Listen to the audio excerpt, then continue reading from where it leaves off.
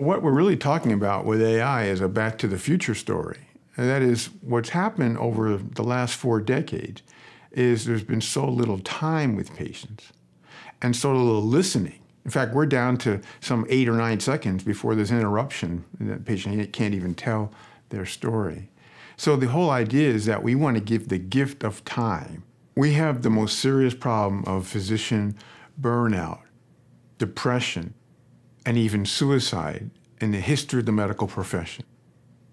And there's been a lot of studies to try to get to the root of this, and it isn't just physicians, it's nurses and across the board of all clinicians. There's two different pathways that we can use AI uh, to fix this problem. One is at the level of doctors. Uh, so when we see patients, instead of typing on a keyboard and looking at a screen, natural language processing can take that conversation and make a synthetic note that's far better than any notes that we have today. And also, of course, the ability to review all the data of a patient that goes through many different levels, not just the electronic health record, but uh, the uh, genomics and the sensors and all these different sources of data that uh, weren't customarily available in any given patient. So on that side, we have uh, harnessing AI uh, tools to bring back that relationship.